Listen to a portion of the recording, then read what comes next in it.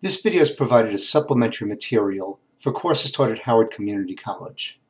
And this is going to be the first of two videos explaining what happens when you multiply negative numbers times negative numbers.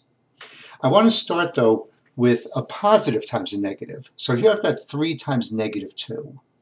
And this is a multiplication problem. I'm going to think of it as repeated addition, since we can think of multiplication as repeated addition.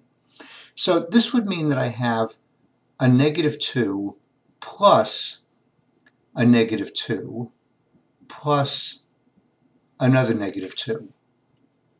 So I'm starting from 0 and I'm adding these three negative 2's.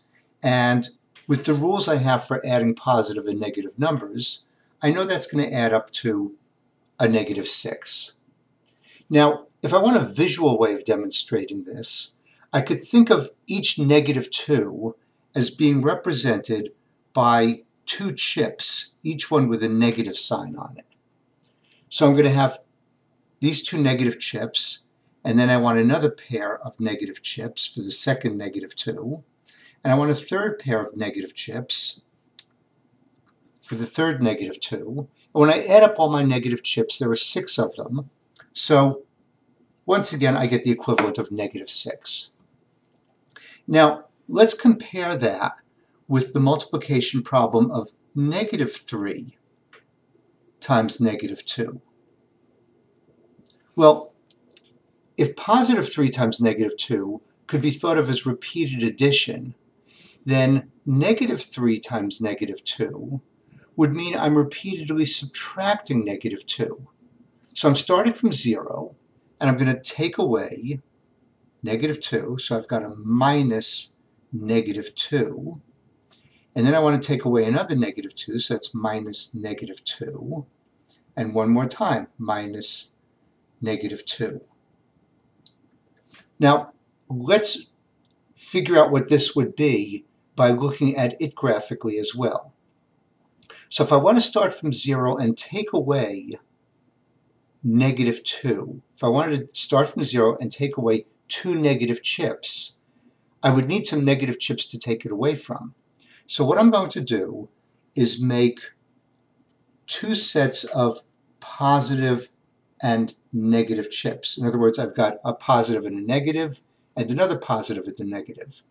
Then if I want to take away two negative chips, I can cross out my two negative chips. After all, that positive and negative equaled zero, so I had positive and negative and positive and negative. That was just zero. That's where I'm starting.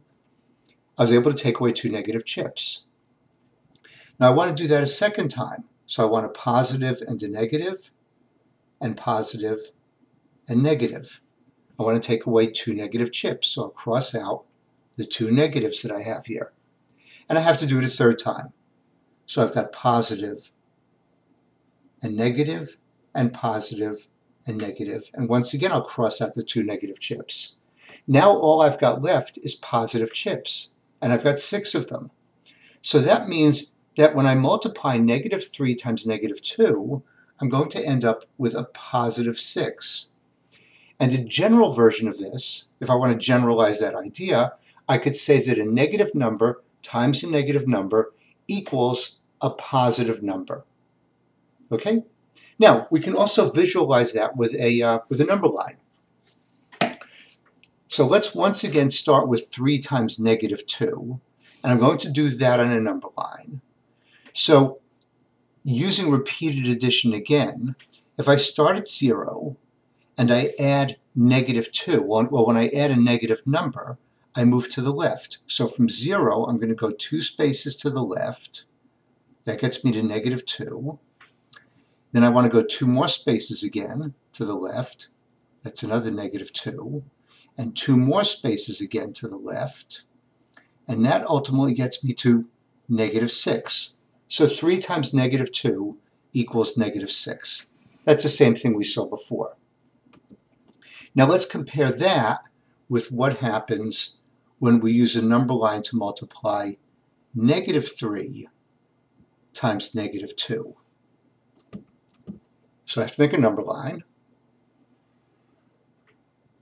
I've got a 0, and then moving to the right, I'll put in 1, two, three, four, five, six, seven. Going to the left, I'll do negative one, negative two, negative three, negative four, negative five. Okay, so I want to start from zero, and I'm going to do repeated subtraction. I want to keep subtracting negative 2. Well, when I add negative 2, I move to the left. So when I subtract negative 2, I move to the in the opposite direction. I move to the right. So if I'm starting from 0 and I subtract negative 2, I'm going to go two spaces to the right, which takes me to 2. I want to do that a second time. So I'll go two spaces to the right again. That takes me to 4. And I have to do that a third time. Two spaces to the right again. Takes me to 6. So we get the same result, a positive 6, that we got when we looked at this with positive and negative chips. So once again, negative 3 times negative 2 equals positive 6, or in general, a negative times a negative equals a positive. Okay, so that's two ways of thinking about what happens when you multiply negative times negative. I've got a couple more methods I want to show you, but I won't be able to fit them on this video. So stick around, and I'll be back with a second video soon.